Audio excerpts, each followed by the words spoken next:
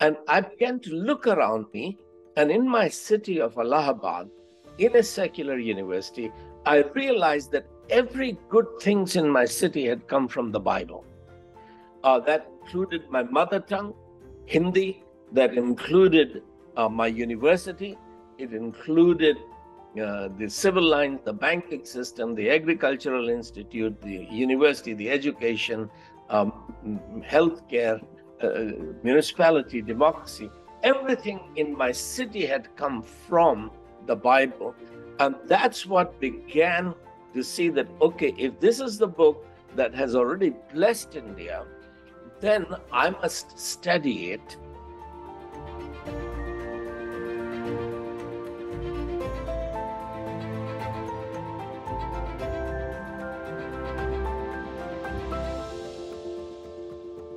Welcome to Reenchanting, the podcast from Seen and Unseen. You can find us at the website seenandunseen.com for Christian perspectives on just about everything. I'm Justin Brierley. And I'm Belle Tindall. And we are bringing you a very special guest today. Uh, we'll be introducing him in just a moment's time. But if you're listening via podcast, please do rate and review the show. It helps others to discover Reenchanting. And of course, if you can subscribe and like on YouTube, that also helps people to discover the show. Yeah, believe it or not, we are approaching the finish line for season one of Reenchanting. And last but not least in this season is Vishal Mangalwadi, a social reformer who's been described as India's foremost Christian intellectual. He's the author of books including The Book That Made Your World, How the Bible Created the Soul of Western Civilization, and The Book That Changed Everything The Bible's Amazing Impact on Our World.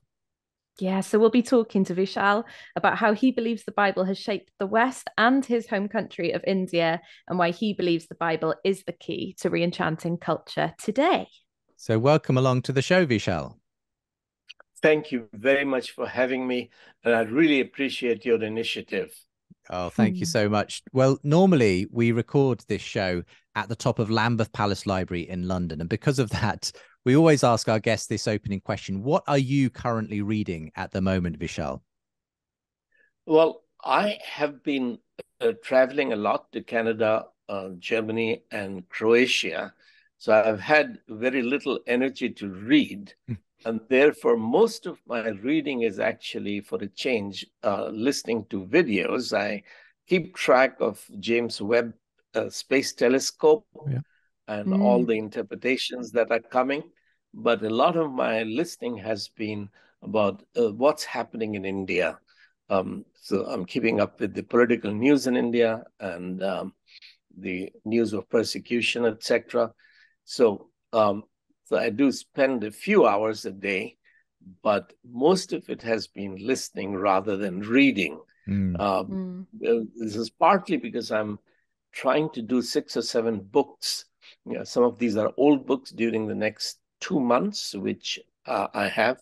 So I'm reading my own things and editing them. um, when it comes to the books that you have written, obviously some of your best known books are are on the subject of the Bible. And I wondered, grow, growing up in India, when did you first run into the Bible? Do you have any memories of first hearing or, or reading the Bible yourself, Vishal? Yes, uh, uh as a in in the 19 i guess it was 69 that uh, i was studying philosophy and i began to feel that i could not believe what my pastors were saying that the bible is god's word uh, because none of my professors who seemed to be more learned than my pastors none of them believed the bible. Uh, so i decided that I cannot believe the Bible. The doubting the Bible was very easy, but the question was, what then do you believe? And uh, that uh, I decided that I'll believe what the best philosophers and scientists believe. And what do they believe? And as I began to review my whole course, I took about six months in reviewing my course in philosophy and came to realize that philosophers knew that they did not know the truth and that they could not know the truth. And that's what triggered my interest in seeing that is there someone who knows the truth and who has revealed it to us? uh, is is there a word from God? Um, so I began looking at first Hindu scriptures, then Muslim scriptures, and then finally the Bible, mainly because of my older sister who said that you should read the Bible. And I said that I have read the Bible and it's childish stories. she said, No, no, no, you were a child when you read the Bible. Uh, in, now you think you're a philosopher, so you should read it critically. So, so it was uh, at that time about 19, uh, yeah, I, I was 20 by then. I began to read the Bible and I found Genesis exciting because it was answering questions that philosophy had not answered. And I found Genesis and Exodus very interesting, Leviticus very boring. and yeah. then when I came to Judges and Ruth, I found it the Bible morally repulsive.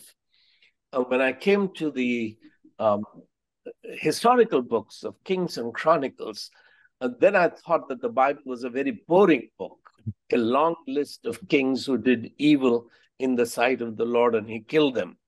Nobody told me that modern political freedoms actually come from those boring books because they were the ones that told Western scholars how nations should not be governed and how God wants nations to be governed.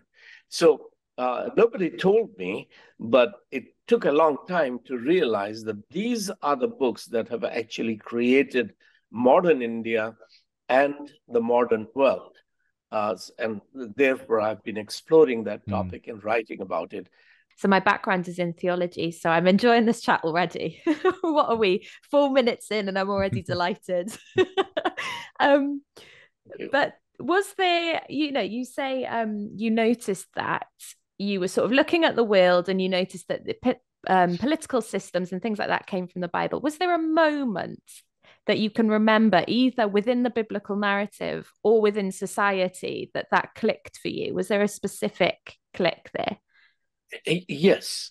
Um, it, it was reading Kings and Chronicles and seeing all the political evil that kings did evil in the sight of the Lord and he killed them.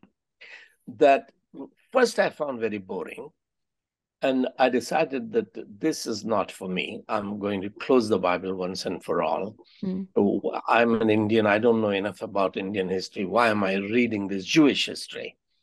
And as I was ready to close the Bible once and for all, it suddenly struck me that Indian history is always praising Indian kings, that how good and glorious and wonderful they were. And this book is a Jewish book and it's condemning Jewish kings. So obviously, this is not court history. Kings didn't pay historians to write about their fathers. So I thought it must be religious history. Uh, the priests wrote it to criticize the politicians, because in India, uh, the Brahmins, the priestly class, and the ruling class, the Kshatriyas, uh, are often against each other. So the religious leaders wrote this book to condemn the political leaders. So I began to just confirm to confirm my thesis that this is the point of view of the religious Jews. I began reading those boring books again, and I, to my astonishment, I found that they are saying that the religious system was rotten. It, God says that your religious deeds are like filthy rags through Isaiah and uh, uh, God destroyed his own temple. So I thought that, well, in that case, this has got to be the point of view of the prophets.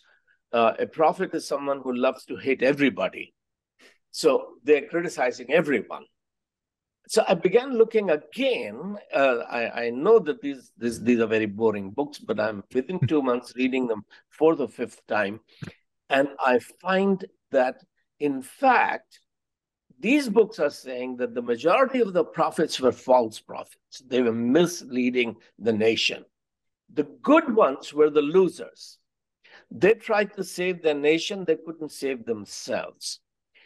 But their books are included because eventually, after Daniel, Daniel himself is inspired by Jeremiah's prophecy that yes, Israel will be destroyed, Jerusalem will be destroyed, and it will be rebuilt after 70 years. So um, then I uh, uh, uh, began to see that the words of these prophets that are included in these books are in fact it turned out to be true and became the foundation for rebuilding the nation so the uh, uh, the question was that the books actually are claiming that this is God's interpretation of Jewish history. It's not the Jewish interpretation.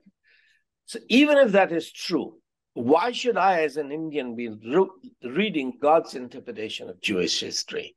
That's when uh, my scales fell and I realized that Abraham, Isaac, Jacob, they were called not because they were good, great, wonderful people, because through them God wanted to bless all the nations. Uh, so God said to Abraham, You follow me, and I will bless India.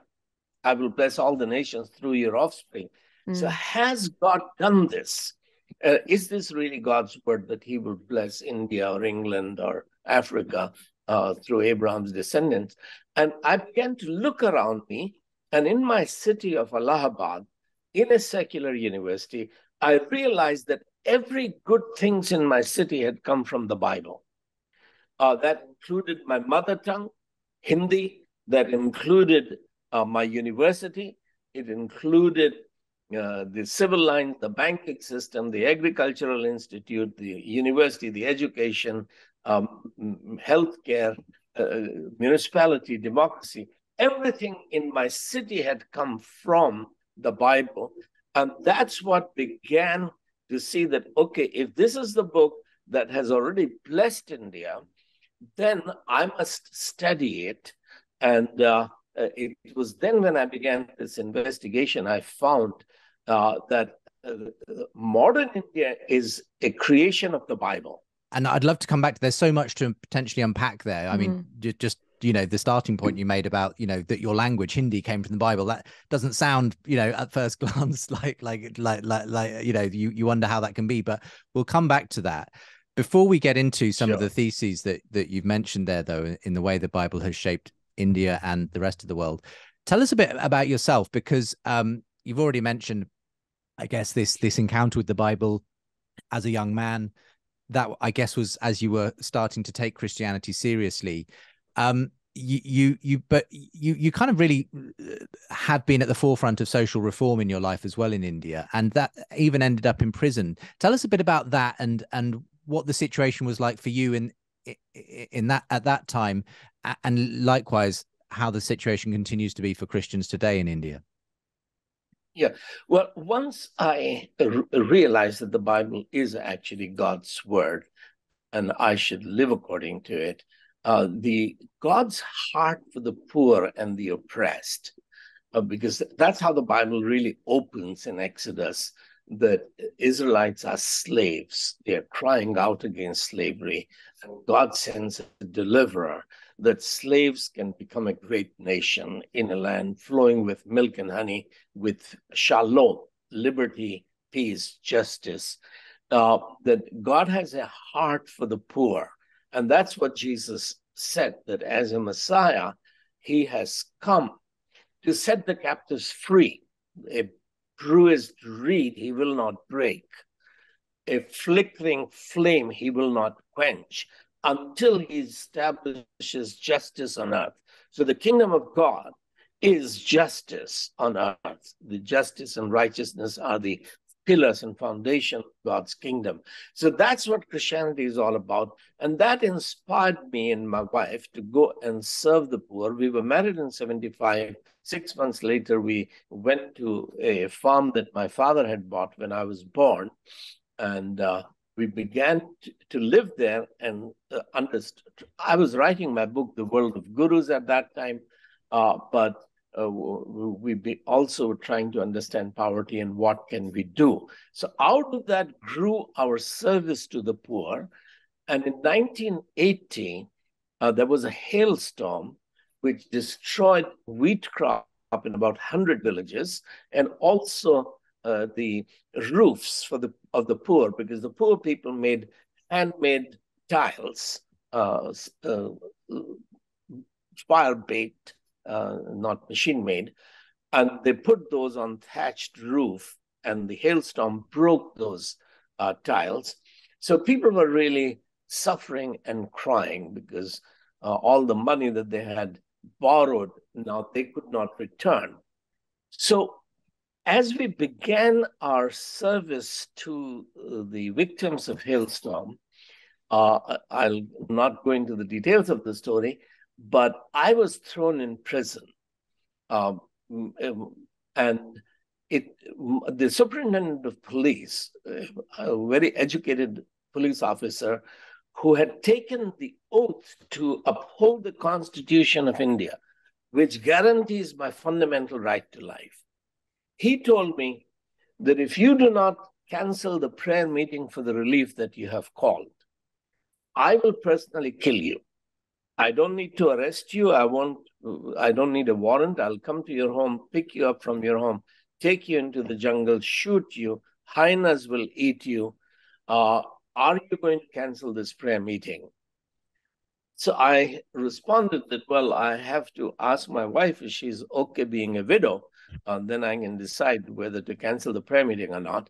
Um, it's the conflict had been going on for about a week. So he sent me back home, being sure that my wife wouldn't want to be a widow. But anyway, we decided that we cannot cancel the prayer meeting because they've already stopped our work, relief work. Uh, all that we are saying is that victims should come together and pray. Maybe the government itself will do the relief work and we wouldn't have to do it. So when I when I was they didn't kill me because the local press was supporting me, but it was in jail that I began to raise this question of how do you build a society where the police is there to protect you, not to kill you, um, where the politicians, a criminal politician was putting pressure on them and the criminal politician was supported by Hindu religious leaders who felt that our service will lead to many Hindus becoming Christians. And that was the background. So, uh, how do you build a society where the oppressed are free to choose their religion? They're free to pray. And the prayer meeting, the particular prayer meeting they wanted us to cancel, was not a sectarian Christian prayer meeting in a church. This was the local Gandhi ashram, state funded Gandhi ashram had invited us to hold a public meeting, as Mahatma Gandhi used to organize public prayer meetings, uh, just getting the victims to pray for relief.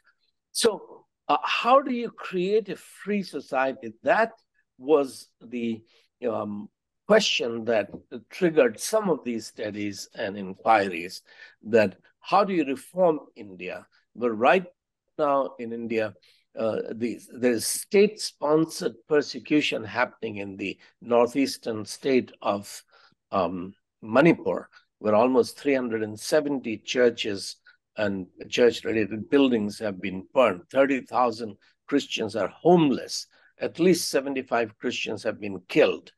And uh, so, uh, how, how, do you build nations? And this kind of engagement uh, did earn me the title of being a social reformer.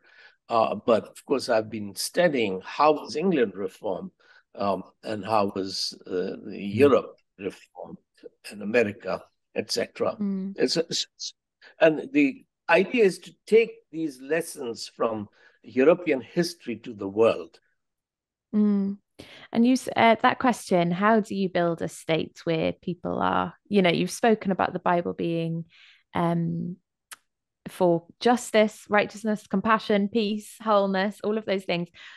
What about critics of the Bible who actually equate it more with um, immorality? I saw the BBC News, they uh, they reported that this week in Utah it's been banned in certain primary schools for its violence. Um, but you've given your whole life, you know, it's your life's work to sort of say the opposite, to show the opposite. Um, can you tell us why that has become so important to you? Uh, yes. In the USA, it was Thomas Paine um, who wrote the first frontal attack on the Bible Uh, it, it, was published as The Age of Reason, but it was published in three parts. 1805 was the final uh, part of The Age of Reason, which was showing the Bible is full of contradictions, absurdities, immoralities, etc. And mm. people like Richard Dawkins and all have been highlighting that the God of the Bible is a monster. Okay, so you reject the Bible as has America and Europe. Oh, what are you going to put in its place? This is where the Great Books project of Encyclopedia Britannica became important. Uh, Mortimer Adler grew up as a non observant Jew. At the age of 14, he started reading Aristotle and then Aquinas. And uh, he teamed up with Robert Hutchins, the president of Chicago University, and Encyclopedia Britannica paid them create the great books of Western civilization. This was the humanist canon that let's reject the Jewish uh, Christian canon of the Bible and let's choose the best and the greatest books of Western civilization. And they created this uh, initially 54 volumes, which became 60 volumes of all the great literature from the West. Now, that project went into complete shambles by 1980s because Mortimer Adler, who grown up as a liberal Jew, uh, himself converted to Episcopalian faith um, at the age of 84. Adler realized that the if you rely on the humanist wisdom, the best of humanist literature, you have a lot more contradiction.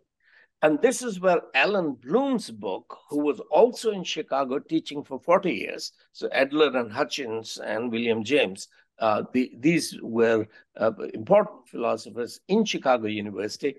Uh, so was Alan Bloom. And in 1987, he published Closing of the American Mind. And he pointed out that 40 years ago, when he went into Chicago University uh, as a teacher, uh, students wanted to study great books of Western civilization, great music, great arts, great architecture. But by the 1980s, as he was uh, preparing to retire, students were not interested in Western uh, literature, uh, Western classics. Parents were not interested in their children wasting their time with humanist wisdom. University was not interested in teaching the great books. Uh, why not? He gives two reasons. One, all the great literature of the West is in fact based upon the Bible. If you don't know the Bible, you can't understand Milton and um, even Isaac Newton, but Dickens or Bunyan. Uh, uh, you can't understand these great writers, great artists. You can look at Rembrandt's painting of the prodigal son. It'll make mm. no sense to you if you don't know the Bible. So you can't understand Bach or Beethoven or anybody else. You can't understand music uh, or architecture of the West if you don't know the Bible. But the second reason, which Allan um, Bloom points out, is that it is the openness, so-called openness, which means relative truth. That let's look at everybody. Let's look. Everyone has their own truth this openness is what has closed the American mind. This is the heart of Allan Bloom's thesis that everybody is true when they're completely opposite to each other, uh, means that nobody has the truth. If nobody has the truth, why should I bother studying them? So the rejection of the Bible has actually closed the Western mind. It's funny you mention Allan Bloom because uh, I've got a quote from him here. Um, and I think he said words to the effect that, you know, if you didn't have the Bible, you would need a book of equal seriousness, you know, to replace it, as you said. And and it that project sort of failed, didn't it? Um, I think he also said the Bible is not the only means to furnish a mind, but without a book of similar gravity, read with the gravity of a potential believer, it will remain unfurnished. I suppose the next question is what what are we losing as we as we f- fail to read the Bible any longer? I mean, is it just that our cultural references go that we don't realize that the Milton, the Shakespeare, and everything else was based on the Bible? What what what else do we lose uh, as as we lose well, that familiarity with the Bible? Well, the people who have uh, been discarding the Bible have actually been sowing sawing off the branch on which the whole of the Western civilization was sitting. So, and this is what um, uh, had been understood by the end of the First World War that we are actually sawing off the branch on which we are sitting, and down we came, and at the bottom was not a bed of roses, but barbed wires.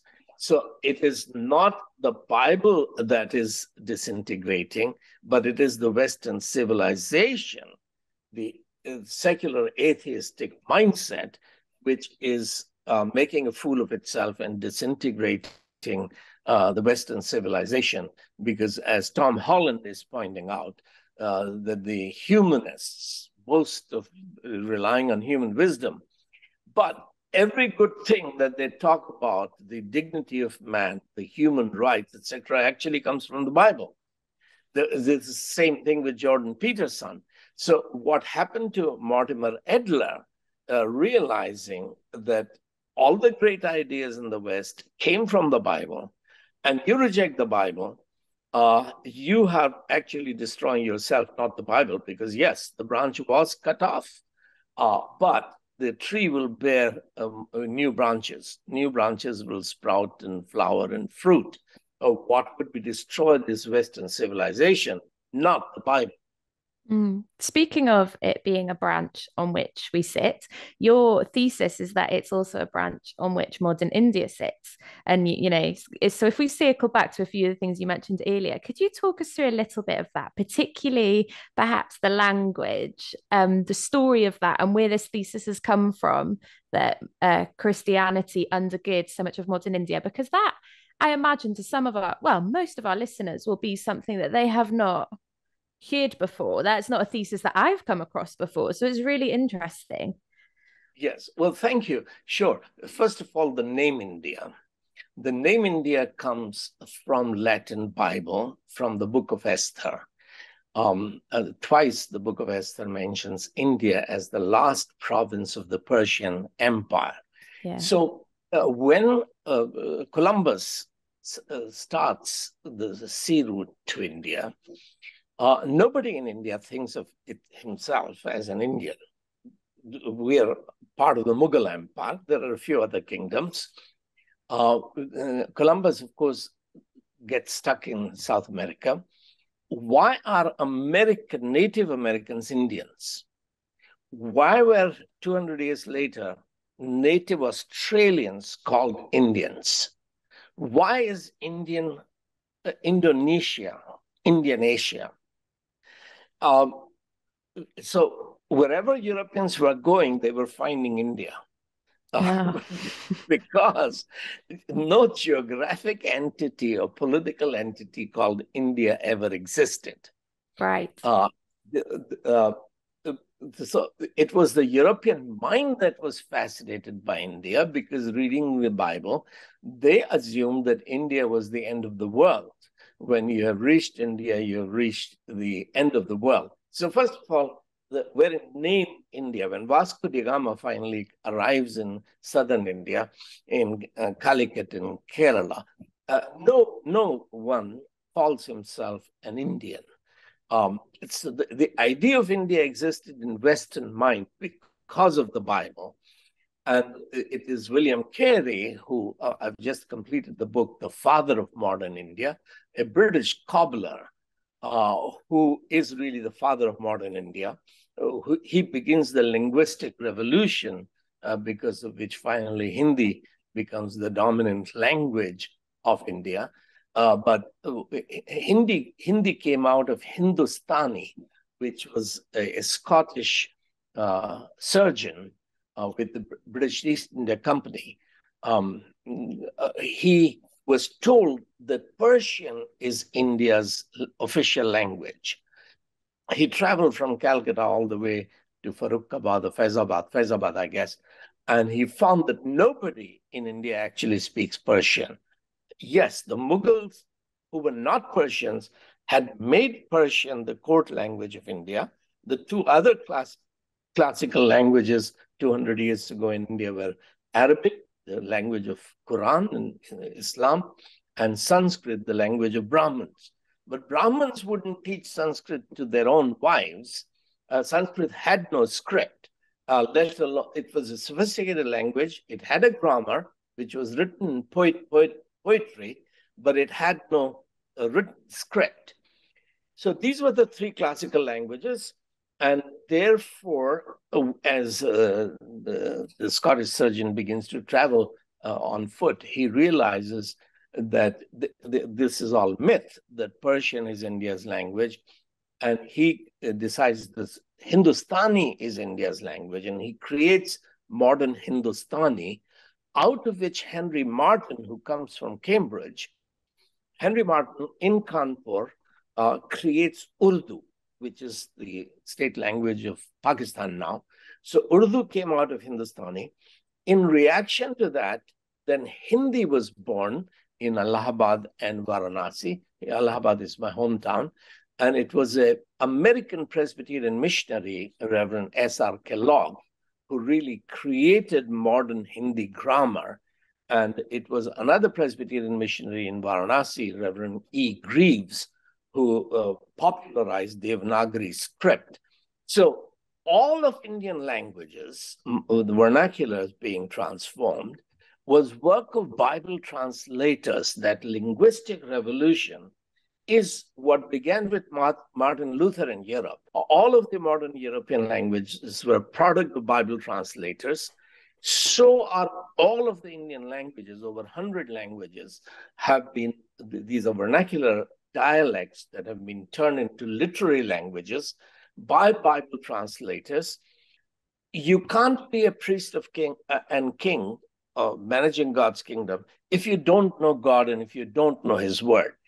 That's a, a reformation of priesthood and kingship of all believer is what transformed Europe, uh, starting with the linguistic uh, revolution and education revolution, that every child ought to be taught. So 500 years ago, there were no schools in England.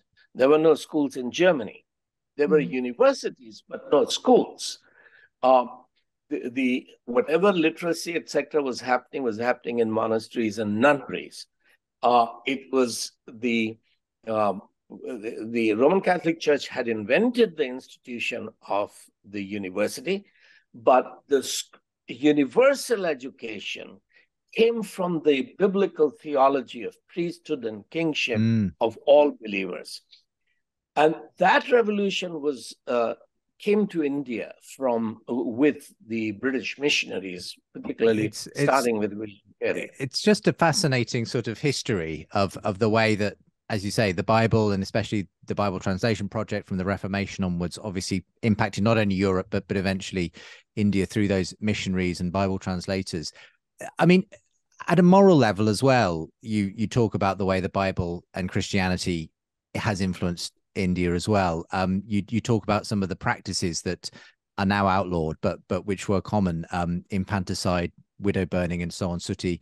Um, do you want to just talk about the way that those aspects of India, you know, culture in that part of the world have, have been impacted by the witness of the Bible and so on?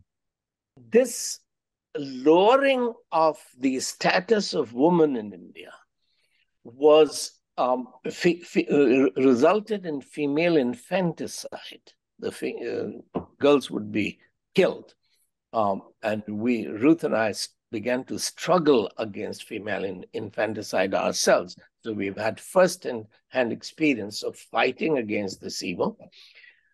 But then, uh, a woman, if once she's married, and uh, she was married as a child, so in 1987, there was an 18 year old widow who was forced to commit, uh, uh, burn herself on her husband's funeral pyre.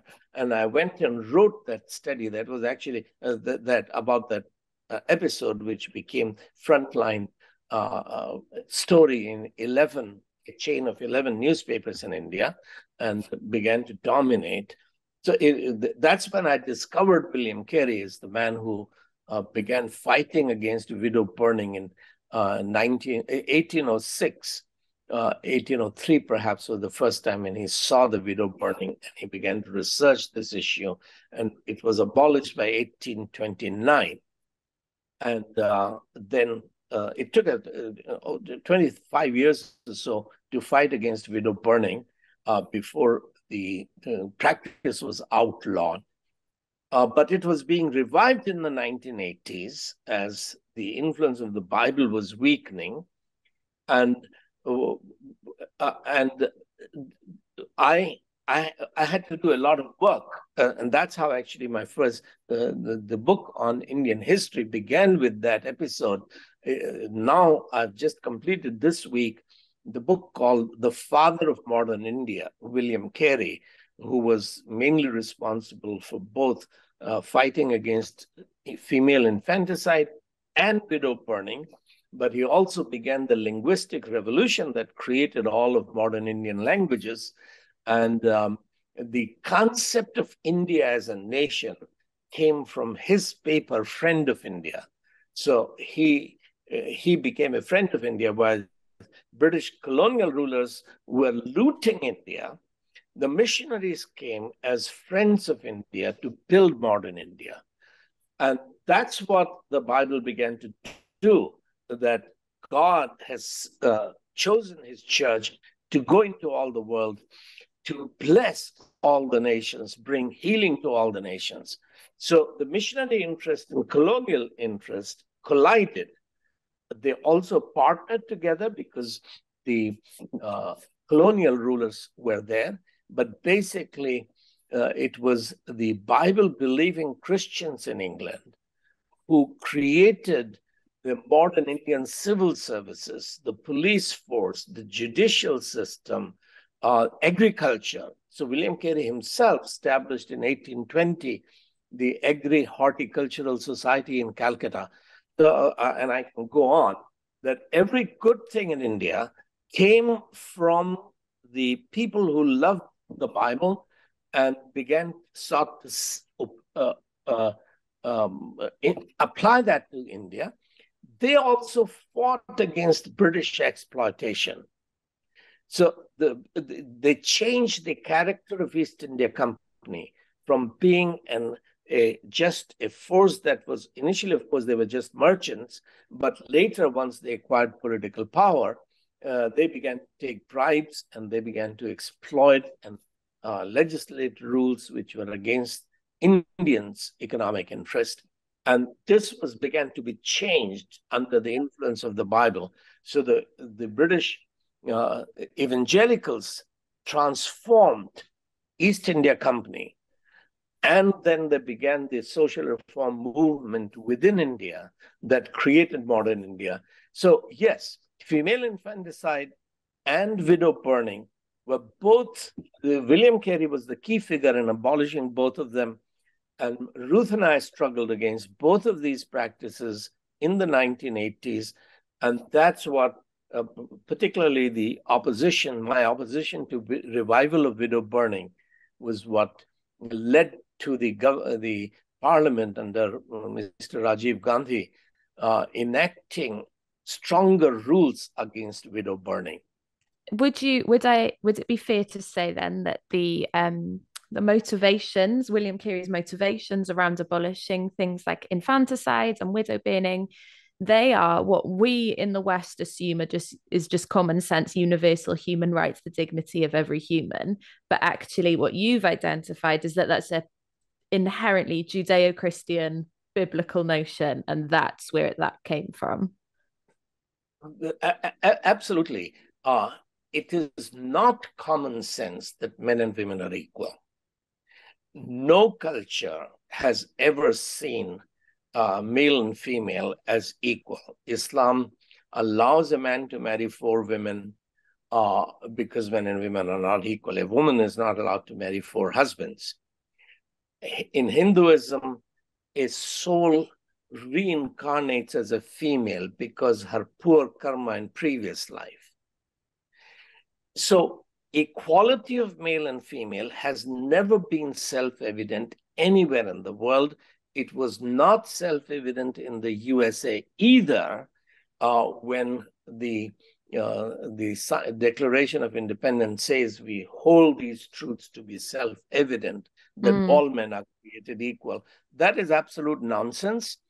because in 1976, it was not self evident to average American that slaves and slave owners are equal.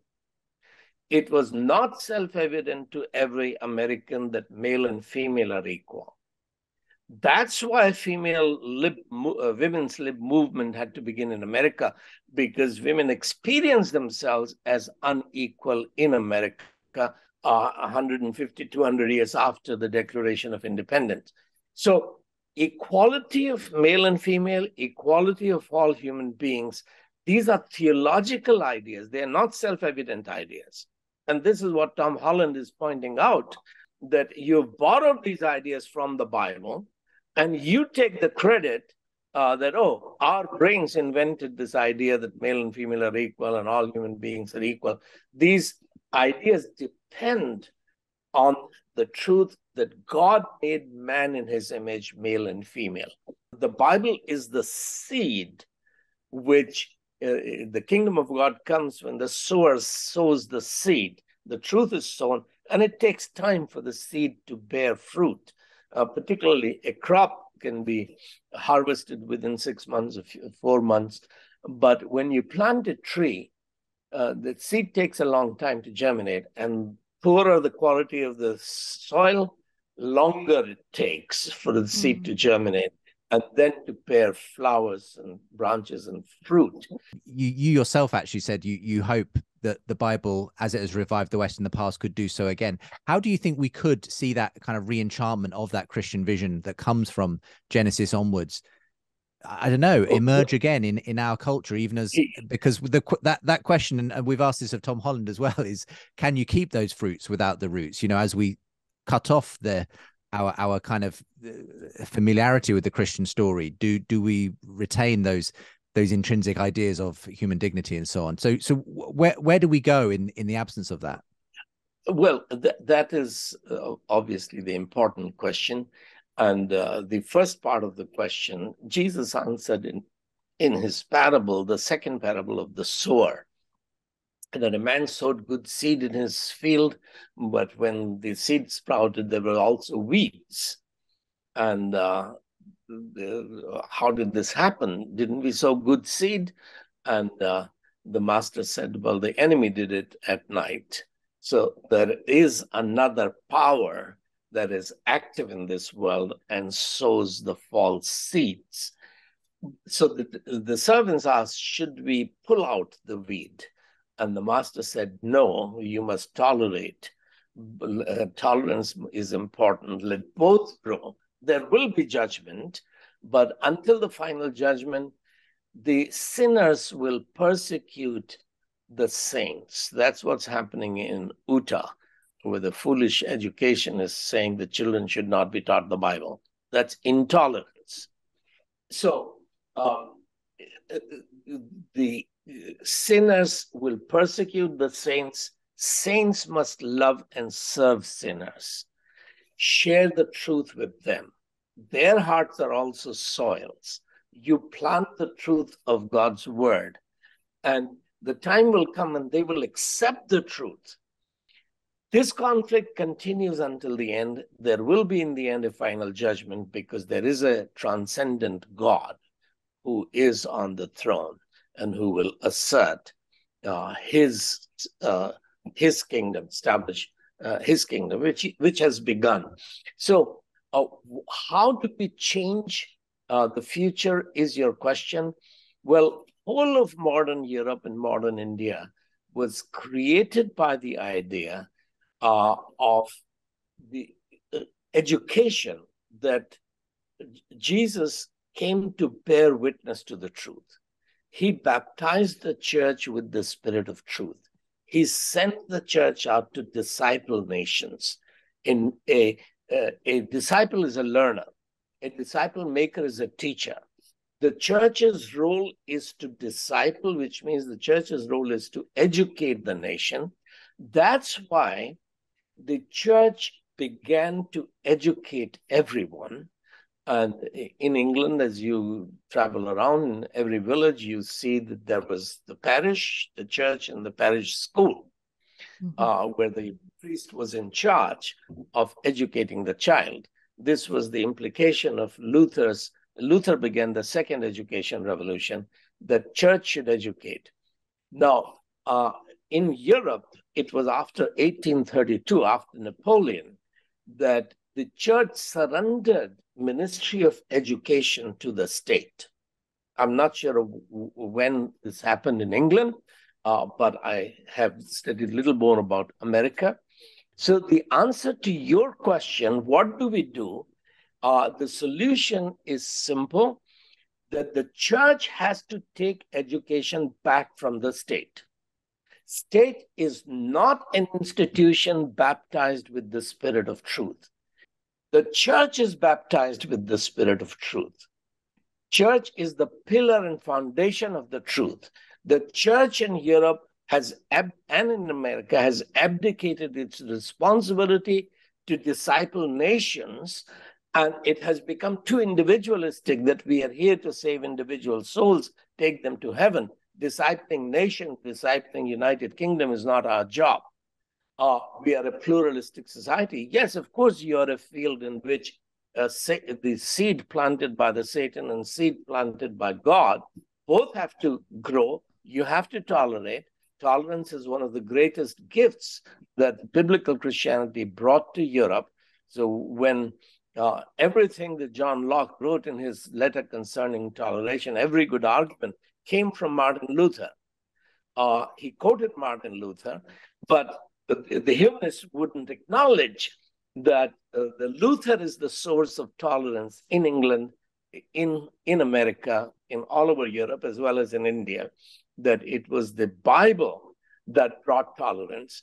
So, yes, we must tolerate, but state as an institution which is not baptized with the spirit of truth that's not to say that everything the church says and believes is true, but it is church's job to seek truth, to repent when it is teaching falsehood, and to uh, believe, seek what is truth, bear witness to the truth. This is church's job.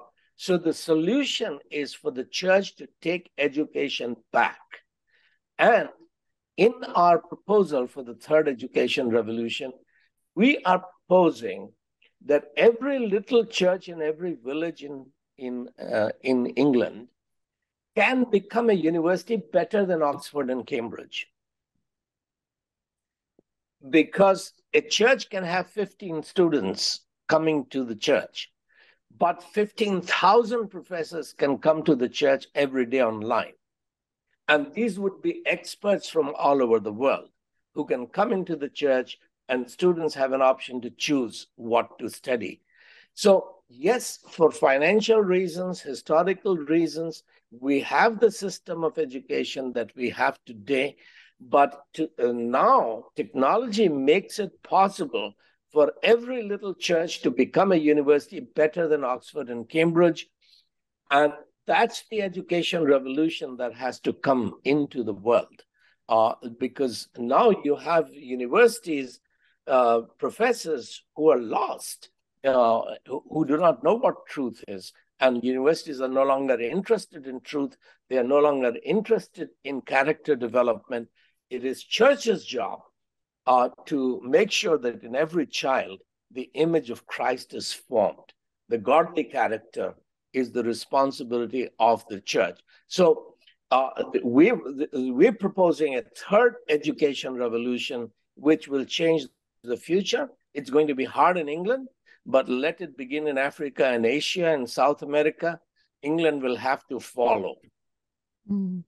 Oh, Vishal, I um I imagine our listeners are going to scream at me at this point because you present a view of the world that's so interesting and so unique and I think will be quite new to many people. So I'm sure they'll be finishing this podcast with a hundred questions. Um, but for that, I'll direct them to all of your work, your books. sure. And, and, but uh, thank you. I, I am considering of coming to England in October, and it would be good to have a session. Oh, there you uh, go. Yeah. yeah. Tom Holland and I, Tom Holland and I debated on uh, on one Zoom session where the democracy came from Greece or from the Bible. Okay. and And in so, that one hour, he, he confessed three times that he hadn't actually studied the history of freedom. Right. So, there you go. So round two might happen in London Maybe. in the autumn.